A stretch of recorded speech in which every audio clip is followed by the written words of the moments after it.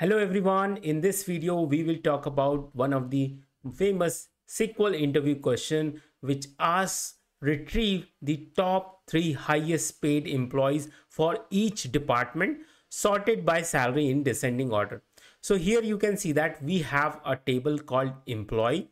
In this table we have four columns employee ID, employee name, department name and salary. So if you look over here, we have various departments and we have to find out the top three employees or the highest paid employee. So let's first see what data we have and let's do the ordering on the basis of the department.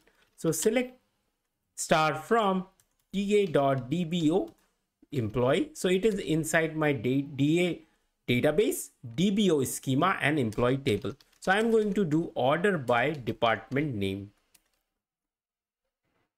So now you can see that we have the admin department, finance department, HR department, IT department. So let's do ordering on the basis of salary also and salary descending. So let's do this. Now here you will see that in the admin, I have three people so I have total four people. Out of that, I have to retrieve the top three highest paid employee. So if you talk about the admin department, the three people is going to be these ones, right? Monica, Mohan, Mariam. So they are the top three highest paid employees from admin department. Similarly, from the finance department, we have to pick these three and from HR department, we have to pick these three and then from IT department, we have to pick, the, pick these three. Now, what I want, I want to do this query. Now, how you can do this? To solve this problem, what you have to do is you have to generate a sequence number over here. So now in this case, what we can do is we can use the window functions. Now, or you can say the ranking function. So how you will do that? So first we will write select. Let's say I want to generate, I want to give a ranking to these numbers. So let's say I want to give one, two, three, four. Similarly here, one, two, three, four. So I want to give the ranking on the basis within a, each department. So here I am giving the ranking to the admin department. So how I can do that? In this case, I'm going to use row number. And then I have to give on the which basis you want to do the partitioning. So over partition by so we want to do partitioning on the basis of department name because we want to find out a ranking within a each department. So that is why we have to partition on the basis of department name.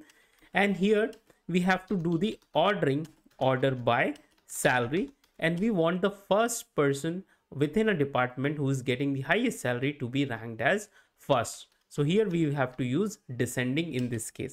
So I'm going to call it as rank from da.dbo.employee. And if I run it now, you will see that we have got rank also.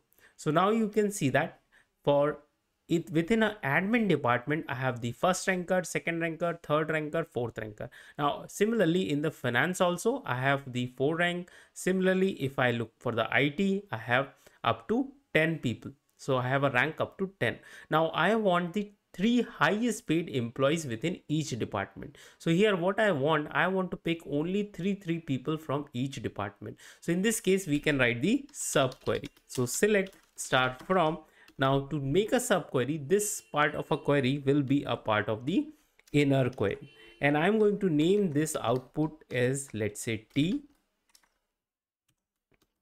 And now I will apply where condition T dot rank is less than equals to 3. That means it is going to pick only 1, 2, 3 people. So now you will see that we have 3 people from the admin, 3 people from finance, 3 people from HR, 3 people from IT.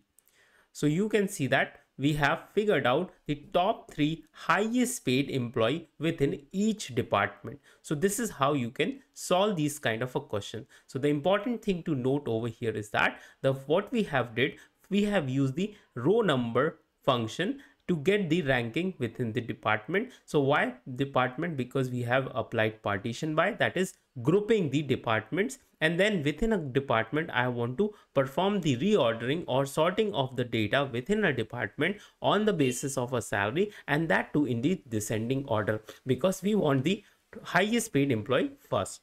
And then finally we have applied a subquery where the part of the inner query is this one and then this is the outer query. And finally we have applied the where clause to get the only three people within each department. So this is how you can solve these kind of a question. They are very very important. It is not just about the employee. You can look for the product within each category or highest selling product within each category. So all these kind of a questions can easily be solved using this window or ranking function so this is all for this video. In the next video, we will solve more questions related to interview. Thank you.